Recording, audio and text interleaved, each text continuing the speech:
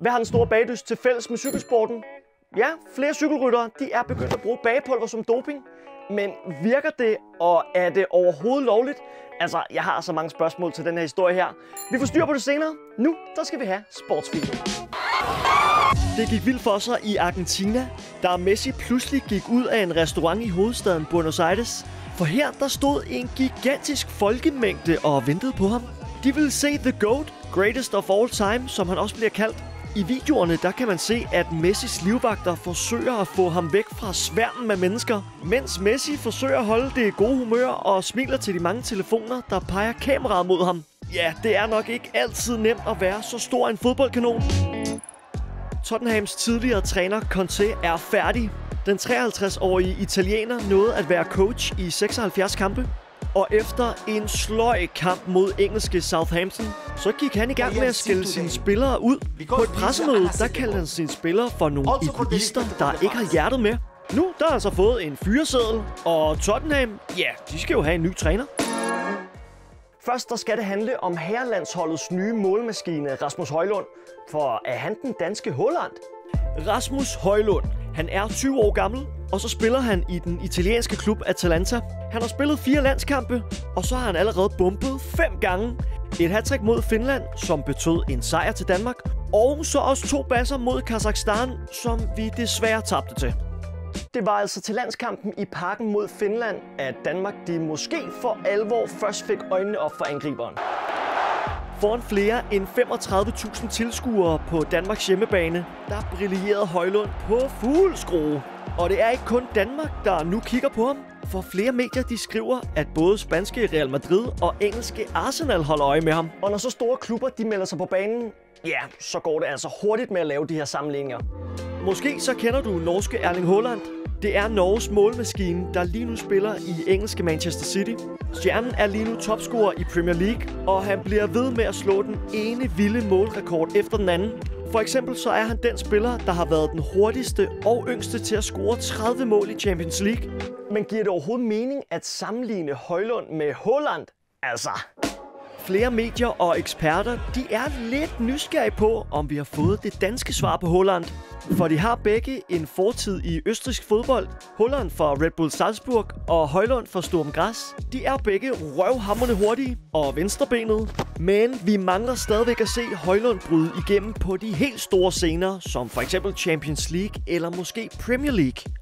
Nu der skal det handle om bagpulver som doping. Bagpulver. Du kan købe det i supermarkedet. Det koster kun 10 kroner. Og så bliver du et monster i cykelfeltet af at spise mm. eller drikke det.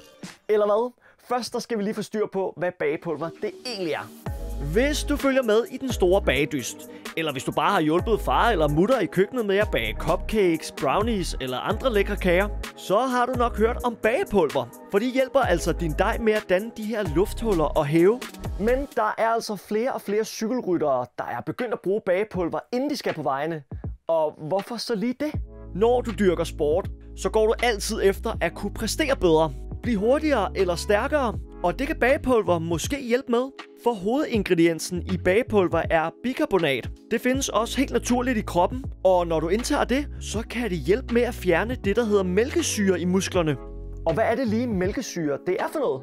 Du ved, når du sprinter, fyrer den af på banen, eller måske bruger dine muskler, så har du måske prøvet, at dine muskler sådan syrer til, og bagefter føles kroppen tung og øm. Det sker, fordi der samler sig mælkesyre i musklerne. Det er en form for affaldsstof. Det gør, at kroppen ikke kan præstere lige så godt, og det er helt normalt. Men bikarbonat fra bagepulver kan så være med til at fjerne noget af det her mælkesyre fra musklerne. Så ømheden den forsvinder, og på den måde der kan man måske arbejde hårdere og præstere bedre. Og nu der er det blevet så populært at indtage blandt cykelryttere, at holdet Jumbo Visma, som Jonas Vingegaard cykler på, er begyndt at reklamere for det. Men det er ikke alle, der er op at køre over bagepulveret. Den tidligere professionelle cykelrytter Brian Holm, han siger, det har været i cykelsporten længe, og at han selv har brugt det, men han synes altså ikke, han kunne mærke den store forskel. Det kan godt være, at Brian Holm han siger, at det ikke virker, men hvad siger videnskaben så?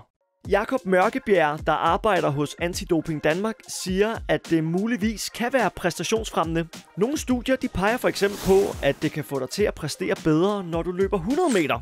Men han siger, at fordelen ved at tage bagepulver ikke er så stor, og det er forskelligt fra person til person. Og så har der også været mulighed for at få en dårlig mause af det, men det problem ser ud til at være løst nu. Og hvorfor er det her bagepulver så ikke på dopinglisten? Det er det ikke, fordi det er et naturligt stof, der allerede er inde i kroppen, og så i andre fødevarer end bagepulver.